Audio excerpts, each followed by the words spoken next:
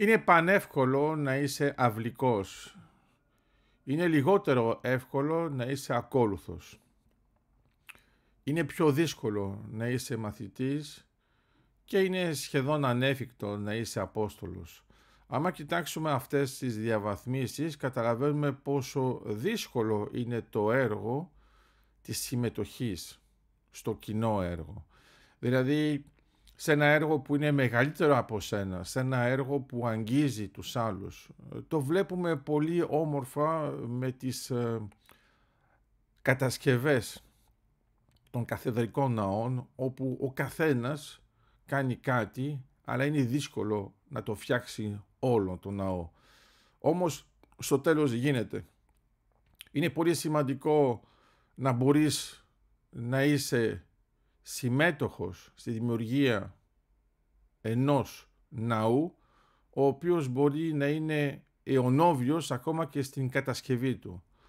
Άμα το σκεφτούμε με αυτόν τον τρόπο, εδώ είναι το παράδοξο, για να συμμετέχουμε σε ένα έργο που έχει τεράστια εμβέλεια, τελικά πρέπει να είμαστε ταπεινοί και να δεχτούμε ποιος είναι ο ρόλος μας μέσα σε αυτό το έργο.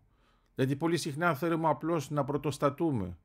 Ενώ στην πραγματικότητα δεν υπάρχει κανένας που είναι πρώτος, αλλά αυτό που έχει σημασία είναι να μην υπάρχει τελευταίος. Άρα η συμμετοχή, η ενεργή συμμετοχή γίνεται επειδή συνειδητά, αν θέλετε,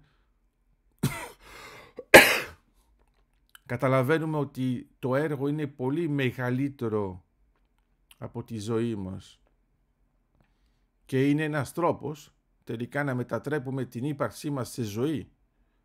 Γιατί άμα το δούμε θα καταλάβουμε ότι παίζει έναν καταλητικό ρόλο και ξεπερνάμε τα όρια της ύπαρξης για να ζήσουμε με την ψυχή μας σε ένα δώρο του χρόνου για την ανθρωπότητα.